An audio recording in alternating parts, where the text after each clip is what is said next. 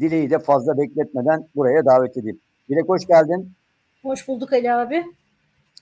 Dilek, Soylu'yu gözaltına almak mı istediler? Ya bu, bu, bu ülkede böyle bir şey mümkün mü Allah aşkına? Şimdi hangi soylu olduğuyla ilgili biraz. Hangi soylu mutlaka soylu deyince biz bir tek soylu tanıyoruz. Başka soyludan bize ne? Süleyman Soylu. Yani Şimdi, sen Süleyman öyle bir şey gündeme getirdin ki Seyhan Avşar getirdi. Sen bunu e, köpürttün ve e, dedin ki çok açık net bir şekilde hemen şuraya geleceğim. Çok önemli bir haber dedin. Alkışlar Seyhan Avşar'a ve devam et. Top sende lütfen. Şimdi Seyhan Avşar'ın bugün Halk TV'de yayınlanan haberi e, dediğim gibi e, dediğiniz gibi çıkış noktası. Bu habere göre e, çok kısa bir süre önce e, Sadık Soylu'yu Süleyman Soylu'nun kuzeni işte Oflu kuzeni e, ve Ayhan Bora Kaplan e, çetesiyle de çok yakın olduğu kamuoyunda bilinen bir isim. E, Sadık Soylu'nun gözaltına alınmak istendiğine dair bir haber.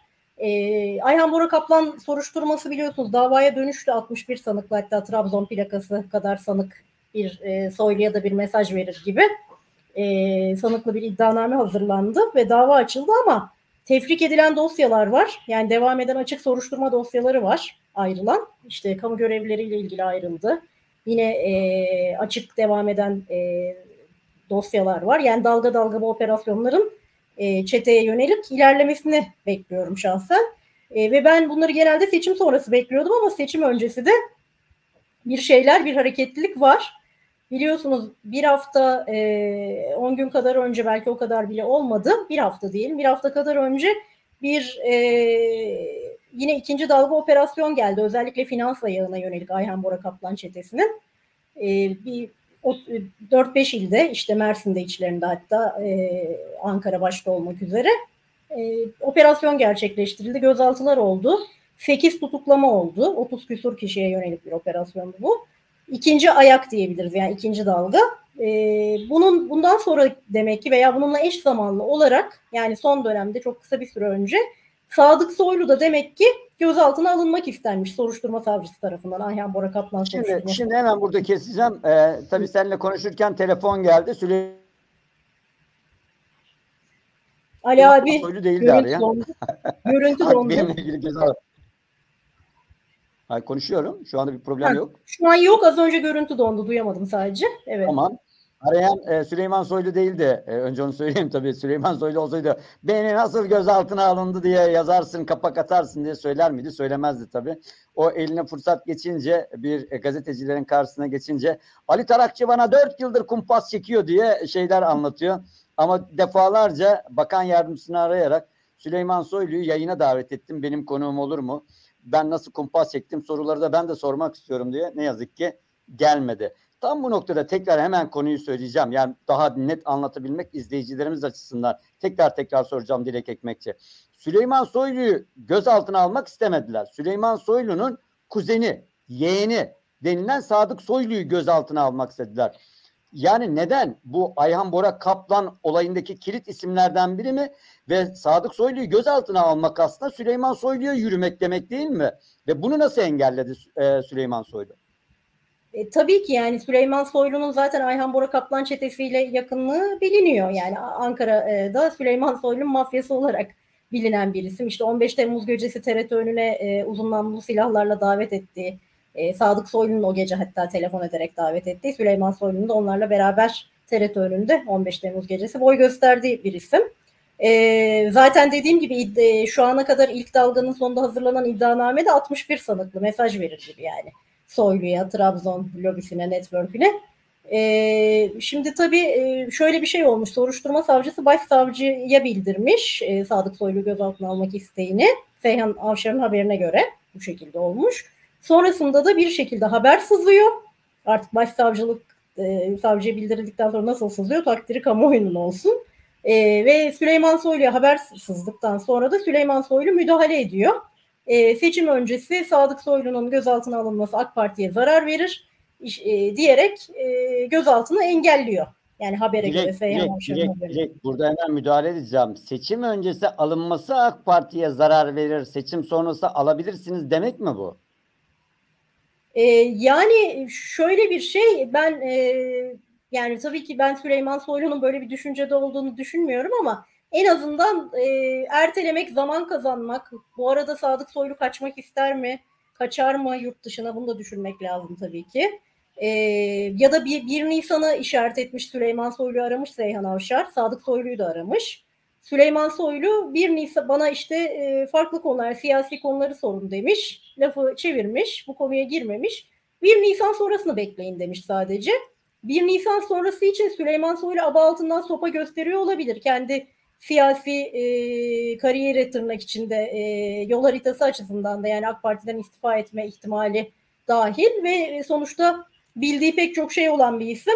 E, işte siz benim üstüme gelirseniz ben de sizin üstünüze gelirim gibi e, aba altından sopa göstermiş olabilir. Genelde böyle bir tarzı var biliyoruz zaten Süleyman Soylu'nun böyle bir tarzı var yani aba altından Dilek sopa Hanım, Dilek Hanım, Dilek Buyurun. Hanım. Şimdi tabii Seyhan Soylu'nun haberi Seyhan Avşar. Seyhan Avşarpa, Seyhan Soylu nereden geldi? Sisi Allah'ım yarabbim beni andı. Şimdi e, Seyhan Avşar diyor ki Sadık, Sadık Soylu'ya yönelik seçim öncesi bir hamle yapılmasının doğru olmayacağını belirterek Başsavcılığın herhangi bir adım atmasını engelledi.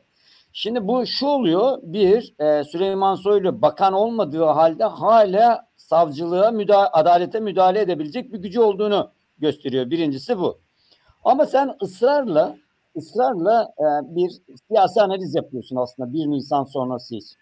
Bu siyasi analizlerden e, biri şu, MHP ile Erdoğan'ın ittifakı bitireceği, Mehmet Ağar ve Süleyman Soylu yükünden kurtulacağı ve bir anlamda da özellikle e, Sinan Ateş dosyası üzerinden MHP'ye, e, Ayhan Bora Kaplan üzerinden de Süleyman Soylu'ya yönelik bir yürüyüşün, e, yürümenin yapılacağını iddia ediyorsun.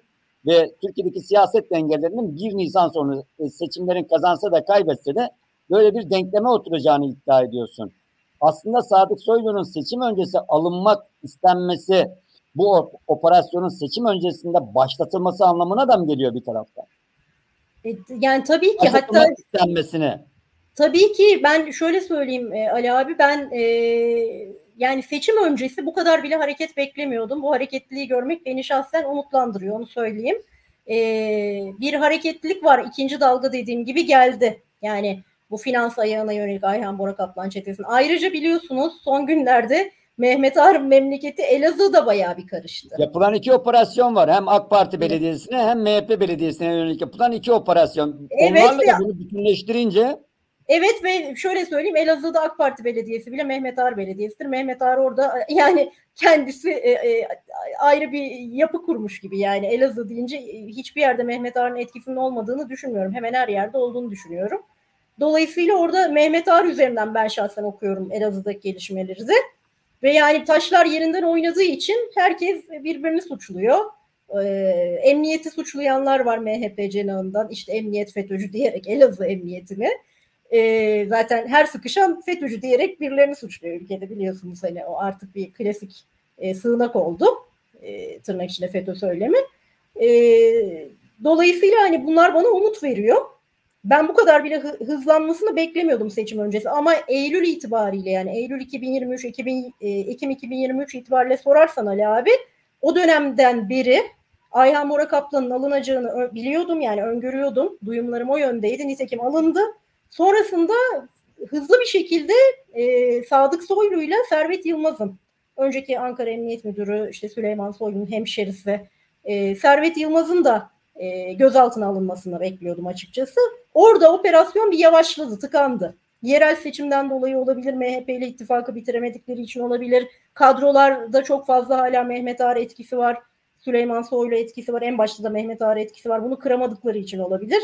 Yani doğru zamanı beklediklerinden dolayı e, irade, siyasi irade veya işte e, İçişleri Bakanlığı'nda Ali Yerlikaya'nın iradesi, Sayın Recep Tayyip Erdoğan, İbrahim Kalın'ın iradeleri MİT, MİT Başkanı beklediği için doğru zamanı frene bastılar. Ben böyle okuyorum ama e, o frene basmışlık içinde bile adeta seçim sonrası için bir hazırlık var. Tekrar bir ısıtılıyor. Yani kamuoyunun gündeminden düşmesi istenmiyor bu konuların. Haberler servis ediliyor.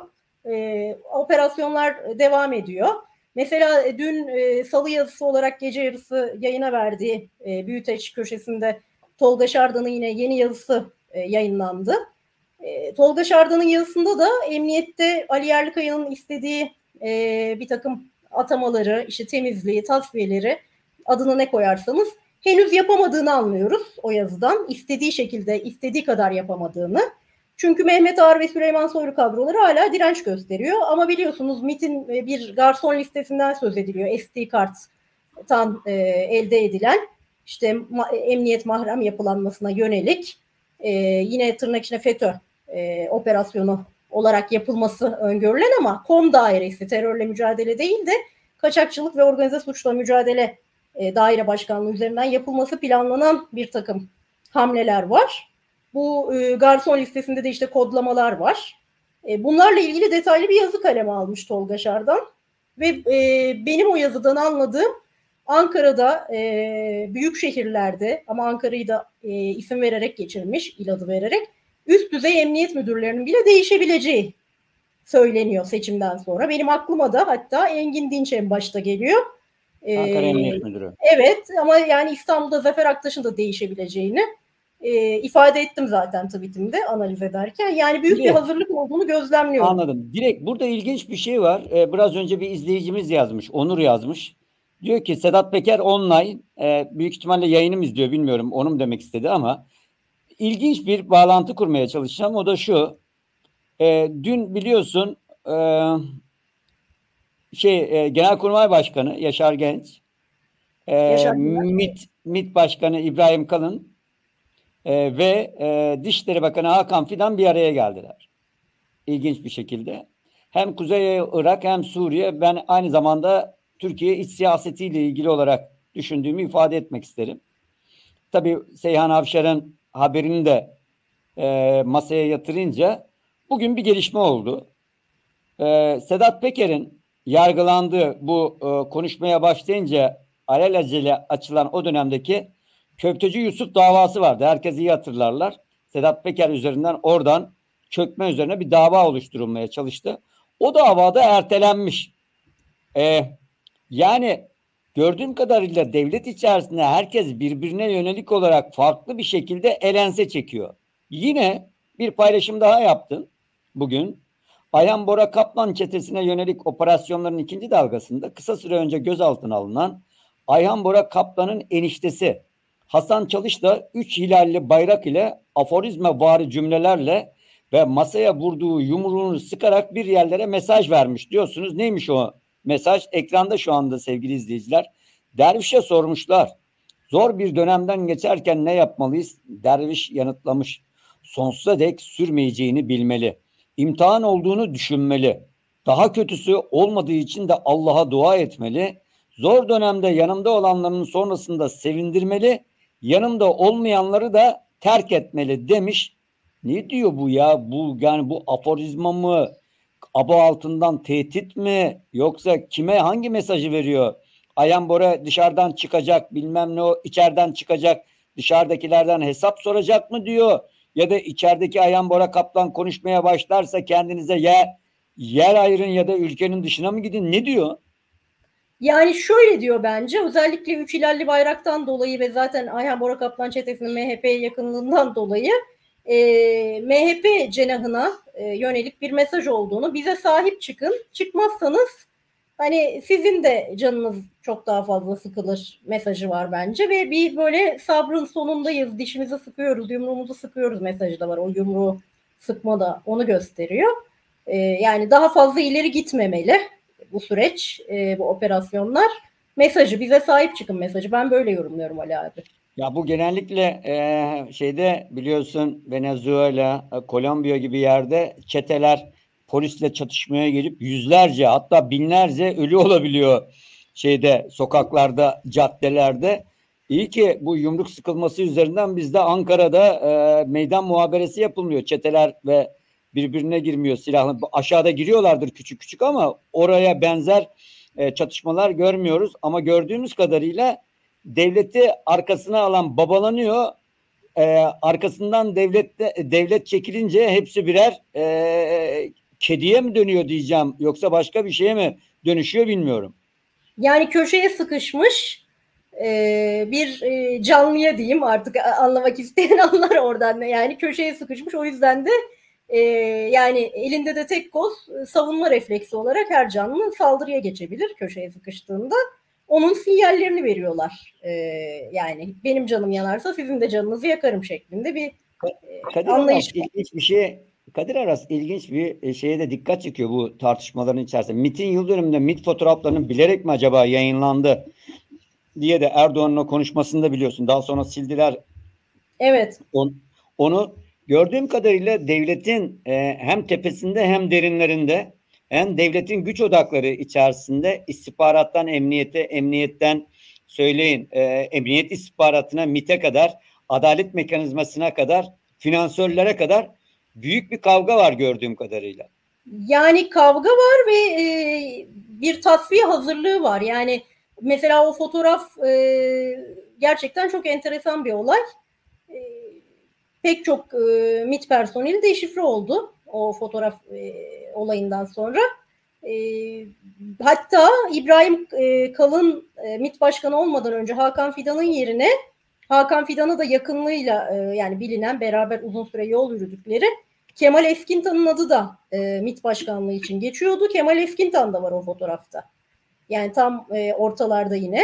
E, ben açıkçası e, İbrahim Kalın'ın e, Hakan Fidan ve zaten Şenkal Atasagun etkisi de işte Devlet Bahçeli'nin danışmanı hala MİT'te malum. Hakan Fidan, Şenkal Atasagun gibi isimlere yakın kadrolarla çalışmak istemediğini düşünüyorum. Yani Ali Yerlikaya nasıl Mehmet Ağrı, Süleyman Soylu'ya yakın kadrolarla çalışmak istemediği istemediği. Yani o, o fotoğraf e, İbrahim Kalın ekibi tarafından Fahrettin Altun açısına söyleyeceğim tabii e, büyük ihtimalle eski çalışma arkadaşları bilerek e, servis edildi ve sonra da bilerek geri çekildi e, istenilen mesaj verildi olarak mı algılayacağız? Yani o konuda bir yorum yapmayayım. Onlar tehlikeli sular e, ama ben şunu söyleyeyim e, Hakan Fidan'ın da Dışişleri Bakanı yapılarak tasfiye edildiğini e, düşünüyorum. Sonrasında da tamamen tasfiye edileceğini düşünüyorum. Ama yani şey tamamen... söyleyeceğim yani e, Dışişleri Bakanı olmak Hakan Fidan'ın çok büyük hayallerinden biri. Biz bunu 2015 dönemi e, e, öncesi de hatırlıyoruz biliyorsun. E, Davutoğlu'nun e, başbakan olduğu ve AK Parti Genel Başkanı olduğu dönemde Hakan Fidan'ı milletvekili yapmak e, istedi biliyorsun. E, Erdoğan tarafından engellenmişti. Hakan Fidan hep bir Dışişleri Bakanı olmak istedi. Bazen Ama düşünüyorum. E, Ali Dışişleri abi, Bakanı'nın gücü MİT Başkanı'ndan daha mı güçlü diye de merak ediyorum ama bizim ülkemizde de dünyanın başka yerlerinde de aslında e, Dışişleri Bakanlığı'nın kendi istihbarat yapıları kendi istihbarat örgütleri de var bildiğim kadarıyla. Yani dışişleri zaten istihbaratın yani e, su yüzüne çıkmış halidir. Yani e, suyun üstündeki bu buzdağının üstünde görünen kısmı dışişleridir hariciye. Altı zaten istihbarattır yani e, en basitçe ifade edilirse ama e, 2015 konjonktürü e, ile şu anın konjonktürü çok farklı. Arada e, Haziran, e, Kasım 2015 dönemi yaşandı. Çok kanlı terör olaylarının olduğu bir dönem. Sonrasında 15 Temmuz yaşandı. 15 Temmuz sonrası yepyeni bir rejim adeta inşa edildi. Muazzam hukuksuzluklar yaşandı e, bu süreçte. E, herkes nasibini alıyor. bir ölçüde hepimiz alıyoruz bu süreçte. Dolayısıyla o günün Hakan Fidan'ın o günkü planlamalarıyla e, şu an aynı olduğunu düşünmüyorum. O dönem belki de e, kendisi siyasete girip ön, önündeki süreçten yani 2015 sonrası ortaya çıkan Başbakanlığa yürümek istemiş olabilir. Kaçmak istedi bence. Ee, kaçmak ama, başbakanlığa mı yürümek istedi diye düşünelim istersen. Ben kaçmak istediğini düşünüyorum. Yani e, Hala öyle mi düşünüyorsun? Evet öyle düşünüyorum ama sonrasında çok fazla olayların içine girdiği için 2015 sonrasında yaşanan bunca olayın içine şu noktadan sonra yaşayacağı her şey yani siyasi yatırım değil tasfiyeye yönelik olacak ve ben Dışişleri Bakanı'ndan sonra da bir kariyeri olacağını düşünmüyorum. Anladım Öyle direkt. Hatta Benim, duyuma da dayanıyor. Bu duyuma da dayanıyor. Yani. Anladım. Benim bildiğim tek bir şey var. 15 Temmuz 2016 tiyatrodur, kurgudur, başka bir şeydir.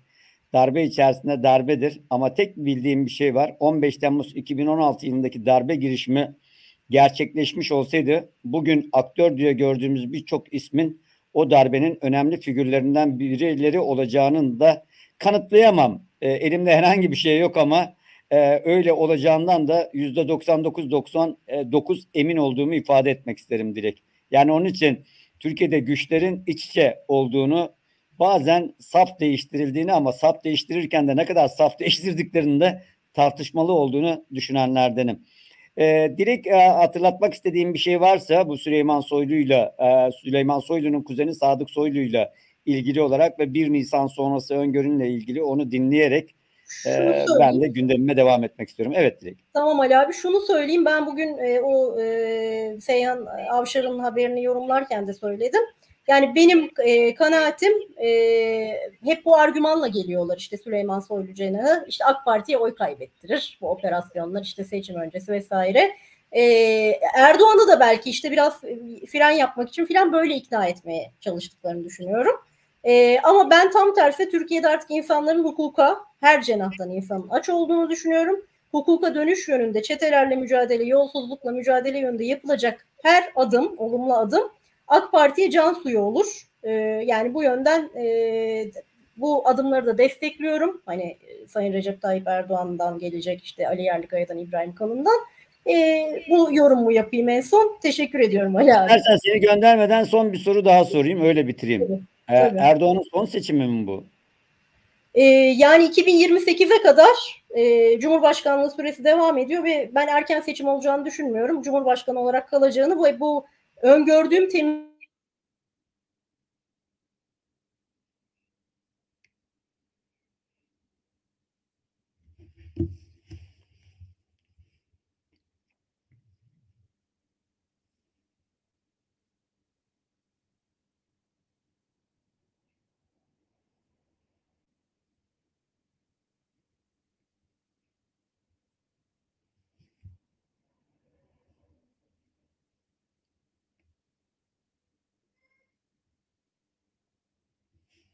Evet, e, Dilek e, şeyden baktım, Dilek donmuş arkadaşlar. E, e, tam e, Cumhurbaşkanı Erdoğan'ın sorduğumda e, Dilek'in bilgisayarında, internetinde bir sorun olmuş. Bazen benim ekranımda konuklarım ya da ben donduğumda program akıyor ama bu sefer akmadı. Özellikle mi? Sevgili izleyiciler, çok açık e, e, Seyhan Avşar ve Dilek e, Ekmekçi aslında e, Süleyman Soylu'nun kuzeni Sadık Soylu'nun gözaltına alınmasıyla ilgili olarak bir dosya hazırlandığını, bu dosyanın savcı tarafından başsavcıya iletildiğini ve sonrasında da Süleyman Soylu'nun haberi olduğunu ve Süleyman Soylu'nun bu gözaltı kararını engellediğini e, iddia ediyorlar. İki e, yani Seyhan Avşar ve Dilek Ekmekçi.